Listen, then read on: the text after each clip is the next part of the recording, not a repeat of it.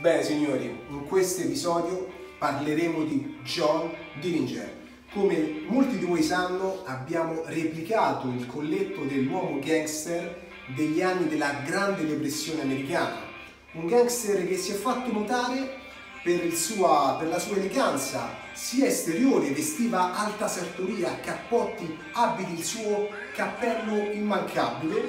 ma anche per la sua eleganza, per quello che faceva perché ogni volta che rapinava una banca, pensate, bruciava tutti i fascicoli dove c'erano scritti ipoteche e prestiti della povera gente. Facendo così avvicinò tutta la popolazione americana, divenne veramente un idolo, definito il Robin Hood degli anni 20 e subito John Edgar Hoover insieme all'FBI prese le sue tracce per catturarlo veramente definito il nemico pubblico numero uno, ma non per la sua pericolosità, ma per la grossa fama che si stava creando negli Stati Uniti d'America, una fama che superava addirittura gli agenti federali, la polizia locale, era amato da tutti, un'eleganza veramente anche un fascino incredibile. John Dillinger, un uomo elegante di un'altra epoca.